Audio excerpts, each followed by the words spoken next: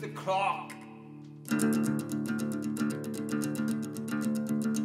Then suddenly it stopped. My heart was broken on the floor. Where you left it, you refused